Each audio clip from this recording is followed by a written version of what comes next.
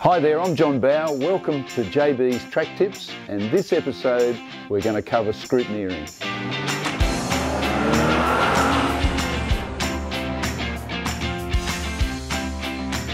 Because most track days are run by car clubs, once again we welcome Randy from the Mazda MX5 Club. Welcome, mate. Good to be here, JB.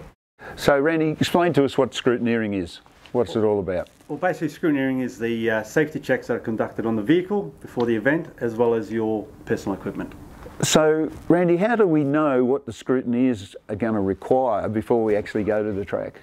So basically in the SUP regs, which we covered off in an earlier episode, um, there'll be a list of what's required of the vehicle. Some clubs have got specific requirements for the vehicle, but essentially you just need a roadworthy vehicle and you've got to ensure that all loose items are taken out of the vehicle. Yeah, okay, makes sense.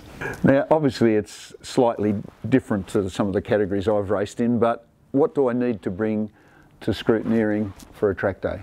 So basically for a club track day, apart from the vehicle, um, you need to ensure that you bring a um, helmet, You've got to bring um, some sort of fireproof clothing or at least long sleeve attire, mm. um, your motorsport Australia license or AASA license, as well as ensure that your vehicle's got a fire extinguisher installed. Okay, so you don't have to wear a, a, a go and buy a driving suit, a flameproof driving suit. You just need long sleeve shirt. Okay. Correct. Yeah. I thought yeah. I might be able to sell some of my driving suits.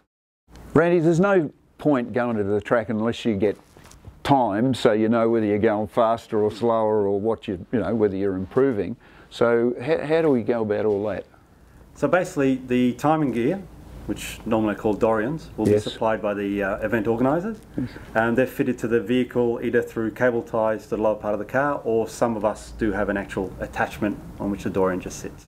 And what about camera equipment? You know, if you want to film yourself or film the track or go home in the privacy of your own lounge room and watch yourself in action. Well, everyone wants to be a Steve McQueen. Yeah, yeah, well. So, yeah, um, or a Lewis Hamilton. Lewis Hamilton, yeah. so um, cameras are definitely allowed. Um, obviously, you've got to refer to SUP regs as to um, what type can be used for the event. Yes. The most important thing is that any camera needs to be uh, tethered to the vehicle solely if they happen to fall off, yes. at least they're not going to fly around and hit the driver in the head or, or impedes the accelerator or anything like that. Yes, okay. Yeah. So there you go. You've got scrutineering down pat. Make sure you check your documentation though and make sure that your car is both roadworthy and safe before you go to a track. Thanks Randy, thanks for your help and your information mate.